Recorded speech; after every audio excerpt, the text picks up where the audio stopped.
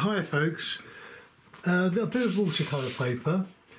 It's got a, a failed, because I do, I do get failures of course. It didn't quite work. It's uh, it's got a bit of watercolour paper but uh, doesn't matter what what the paper is because I've given it a good coat of uh, of gesso, of, of acrylic white gesso, white gesso. Uh, I, it, I was given this with the bulk of paints, as you know, that somebody packs up painting, and I got all the uh, well as much as I wanted. Uh, so I've got this acrylic gouache, extra fine quality. Well, I've given that a really good coat of gesso, so we'll uh, see what happens. In any case, being acrylic, it will form its own coating, its own plastic coat. Now, I haven't the faintest idea what I'm going to paint, but I'm going to. It's going to be semi-abstract, and I've changed the the uh, the angle of my video recording because I do get the odd complaint about my head getting in the way. Uh, because when I do the stuff to the right, I start, start to get a bit too close to it. So I don't know, well, that's where my head will be but so I'll try to. I I can't really. I'm really sort of limited in my setup. Got this beautiful camera, this uh, Panasonic V770. Uh, it, it's a great performer, but if I get too close and, and my head goes into the shot, it uh, it does it does damage the uh, the the focus and I'm quite happy with the focus as it is. So I don't want to alter it. So, so I'll just use a bit of water, and I'll get a bit of bit of this, bit of that, nice. Just whack a bit in. So we've got I've got um, vermilion, ultramarine, Payne's grey, yellow ochre, and uh, cad yellow. A bit of yellow in there. So I, I don't want to do a representational painting insofar as I want it to be a representational painting but sort of abstracted. So we've just got to get the, the, the, the paper covered with paint and then we'll take it from there. Got some lovely uh,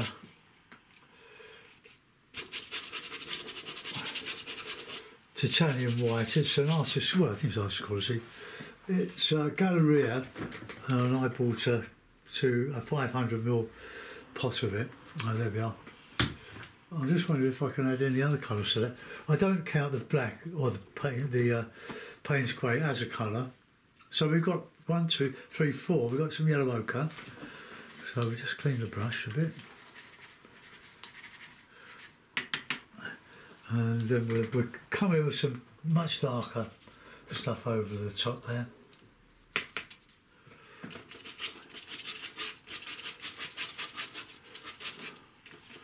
It really needs to dry, so we'll put in a bit of a bit of a field, I think. Uh, oh, burnt sienna. Let's have a bit of burnt sienna. That's that'll be my fifth colour. I do love burnt sienna. That's a system 3 acrylic and it's, uh, how big is it? Uh, why can't I see that? Oh yes, 150 mil. So that's pretty good. Uh, right, so let's just put in a bit of the, bit of that, bit of this.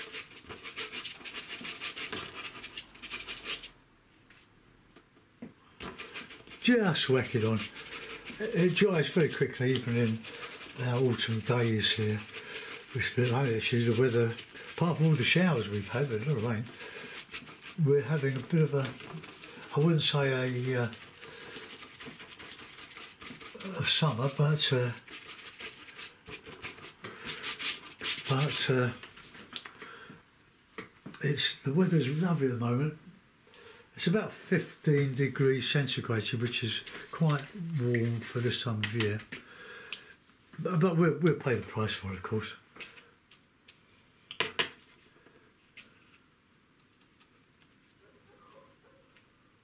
Right, let's just see if we can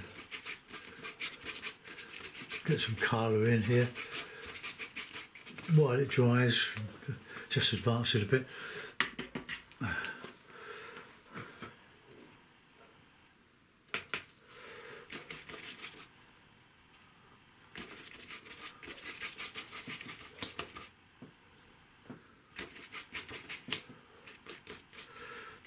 It's still a bit wet.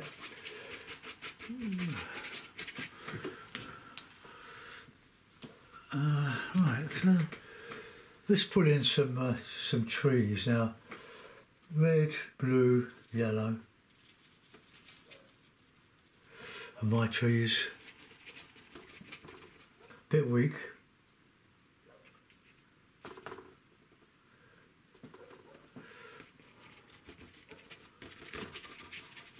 Trying to do a bit of a bit of a river. I don't know.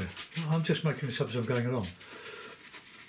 I'm just I'm just covering the uh, ground with my with my paint. So. Right, let's get some uh, texture in. I'll I'll use these these uh, worn out brushes just to get some. Uh,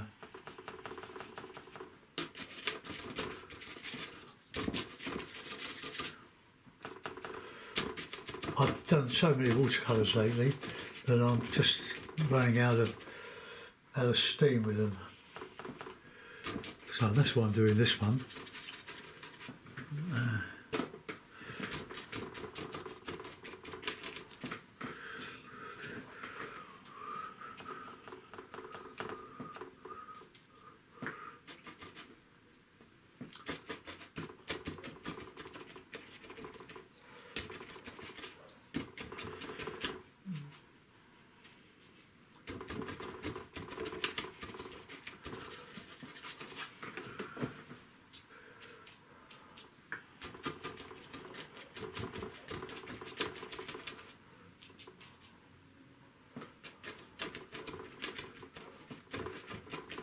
Right, and that's some hard stuff for the uh, for the uh, the trees. So Payne's grey, red, bit of yellow.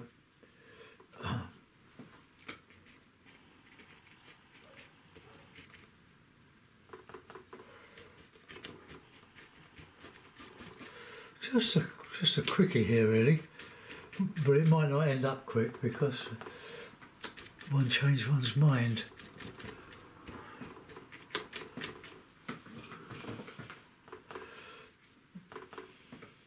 Do like my red in my greens.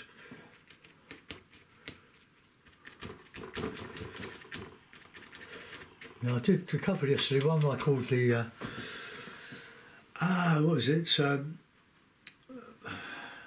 hog, groundhog, groundhog. That I think was the one for Patreon, groundhog, or ground bog. It was a boggy scene, and it was uh, great fun to do and the other one was uh, watching the TV. You, you do see some scenes you wish you'd had the camera ready, but they've gone before you saw them out. And it was a fabulous uh, sky, dark sky, with um, a just a just a, a, silhouette really in the foreground. And oh gosh, I, I just wish I had. Well, I didn't. I, I just memorised it the best I could. Uh, I really need a, a, light red colour in in uh, on my palette, not the bright vermilion and cadmium reds. I want a light red, which is burnt, sort of a burnt sienna. Oops. I want, wild. Just, uh, just get the paint in. Don't worry about what it looks like at this stage. you can refine it as you go.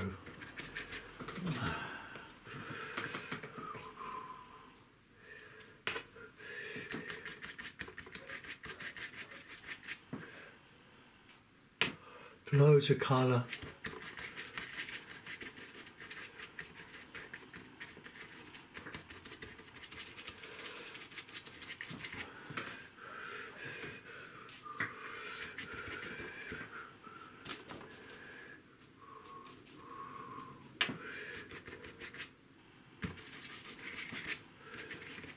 Look, we're, getting somewhere here. A bit slow, but they're coming on. I do, I do like acrylic. I never used to. Although I've done a lot of them, I uh, didn't like the way it dried, but then, but now I love the way it dries because you can crack on with the picture. We'll just cover up those trees and we can put some more up the top here. Bit of red, a bit of Payne's, a bit of a bit of the lovely uh, burnt sienna. Oh, that's coming on.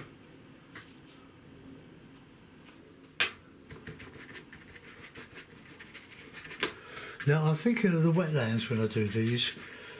The wetlands is a lovely bit of a park in uh, Morden, south south of London, south.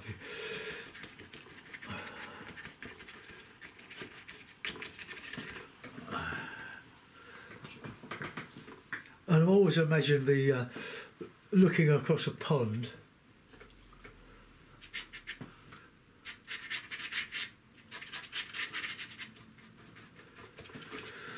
Uh, from the boardwalk into all the trees and the uh, the lovely tops of the of all the marsh grasses that are in here.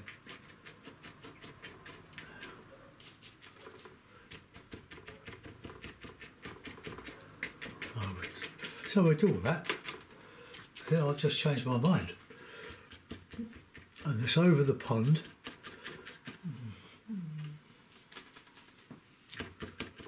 Oops, don't like that.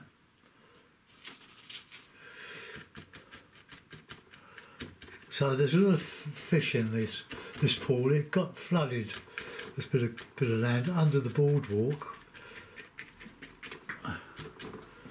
Um, and uh, when the flood subsided, just the fish stayed.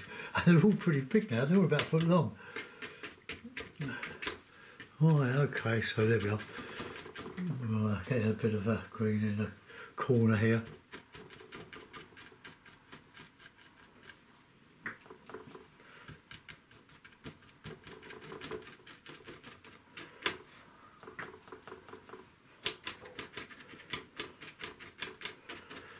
Okay, let's get some dark in there to, to represent the shadow. So we have just a bit of shadowy colour.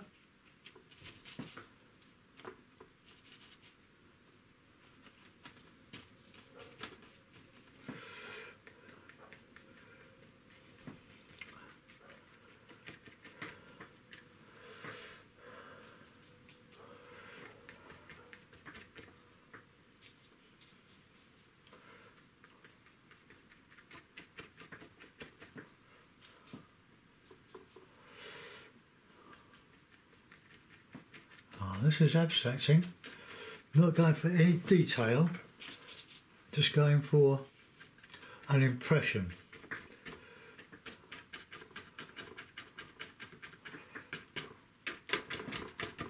Right, let's go back to the sky now. We've, we've done quite a bit on that.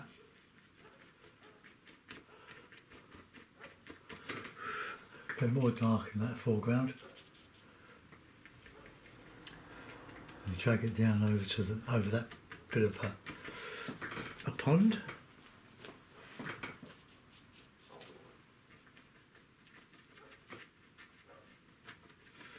That's just to remind me that there is a pond there. Okay.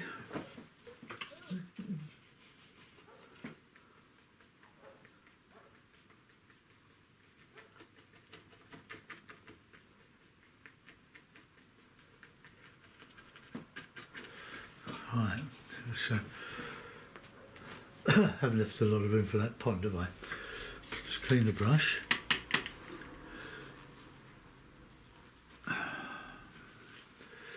Right, that sky is just about dry now.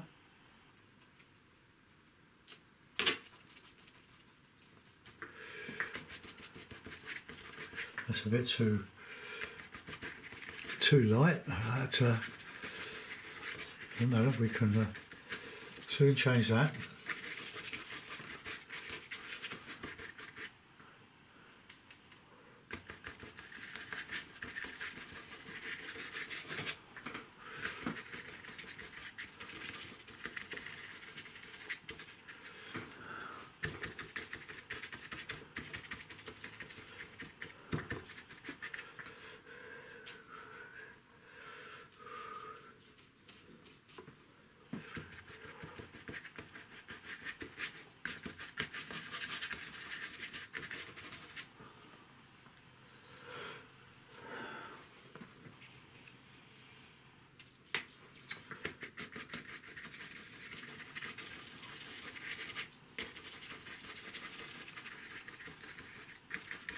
You don't have to spend days and hours doing the painting.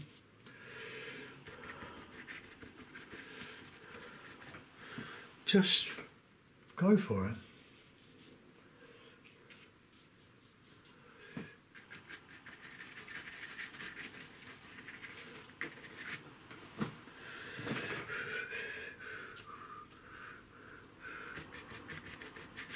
Uh, let's get some of that light on that horizon. Then we can counter change, counter change, counter change the uh,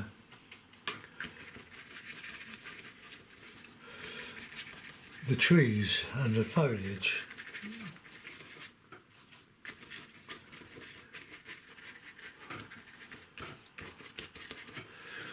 I just need a bit, a bit more Payne's grey and a bit of red, bit of blue.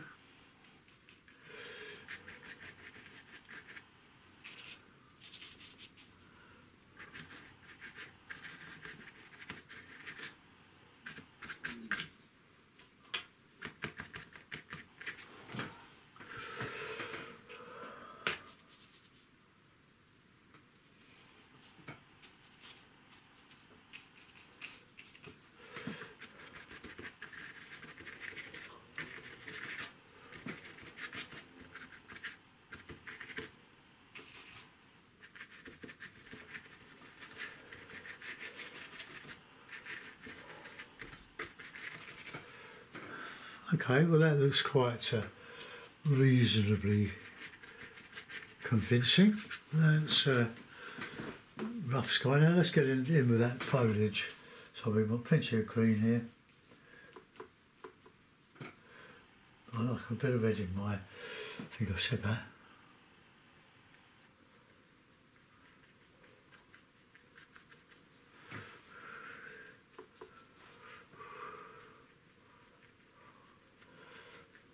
You don't need posh brushes, expensive brushes, to do all this. Just, just rough, just rough.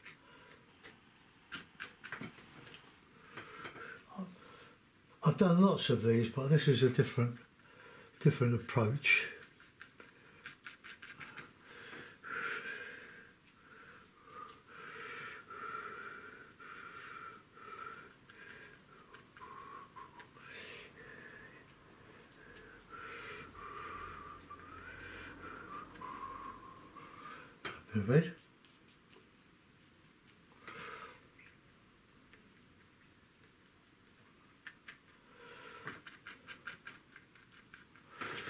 Okay, uh, let's get that bit, uh, bit spiky.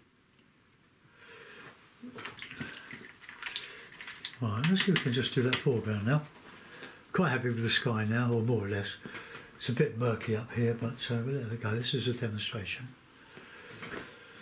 Ah, right, okay. Yellow ochre. and white.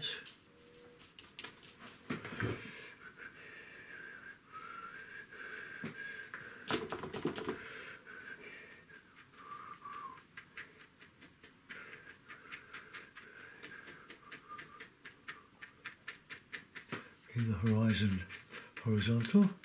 Is just these spikes of the seed pods, I suppose that's seed pods, of the marsh grasses.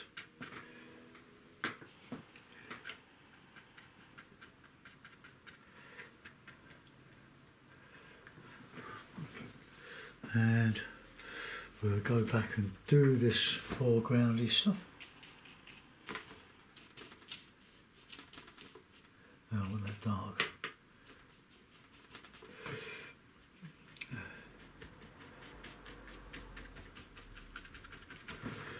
Right, okay, it's nearly dark as I want to go there because I can drag some of that over where I'm going to put the water. Uh, that just doesn't look very nice. So we'll change the shape of that. That's better. Uh-huh. Right, we're going with some some nice water, a bit of bit of ochre in there, I think.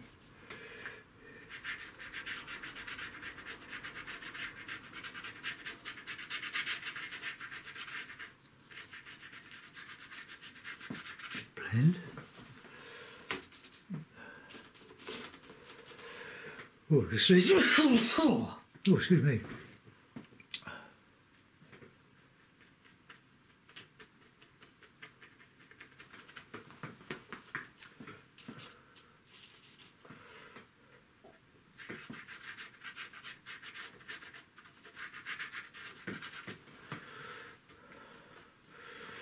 Right, I'll get rid of that to sort of reflect in the sky. It's just a bit of a bit of that bluey stuff in there. And we're going with some some reedy stuff. Bit of white, a bit of cad yellow.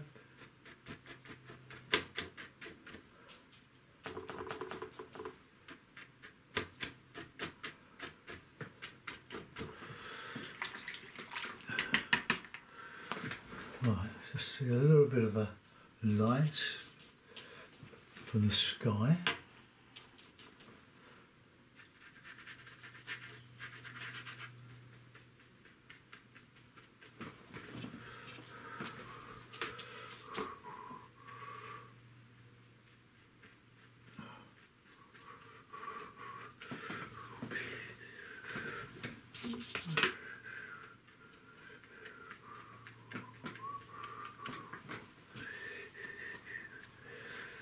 Alright, get some of those colours. These colours in in here.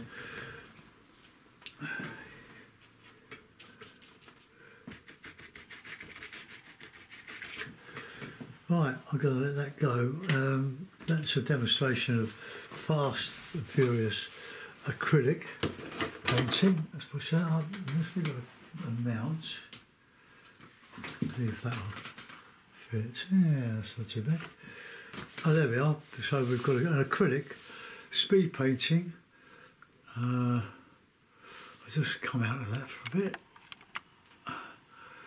Okay, now I can alter that, but uh, I will. I'll just go like that, and there we are. Pull it out a bit. Out, boom.